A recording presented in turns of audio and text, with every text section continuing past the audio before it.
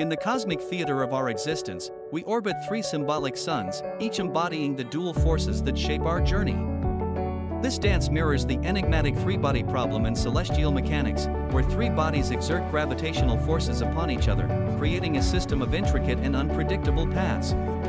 The first sun envelopes us in the stark light of pain and suffering, drawing us into a deep introspection of our vulnerabilities.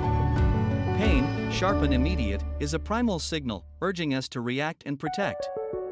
Suffering, its more enduring counterpart, leaves a lingering shadow, shaping our resilience and depth of character. Venturing further, the second sun bathes us in the warmth of happiness and calmness. Happiness emerges from our deliberate pursuit of light amidst darkness, a spark ignited by choice and action. Calmness, its twin, offers a sanctuary of peace, an anchor in the tumults of life. In its orbit, we find balance and fulfillment, a testament to our quest for harmony. Yet, the cosmos harbors a third sun, embodying the chaos of madness and irrationality. Its erratic pull thrusts us into a vortex of confusion, where logic and reason falter.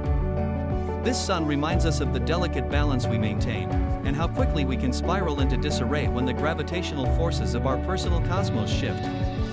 Our journey through life, influenced by these celestial bodies, mirrors the complexity of the three body problem. Our path is not predetermined but is a dynamic interplay of forces, constantly changing under the influence of these symbolic suns. As we navigate this cosmic dance, let us seek the wisdom to recognize the suns that guide us and the courage to steer towards the light of happiness and calmness, even when the shadows of pain or the whirlwinds of chaos beckon.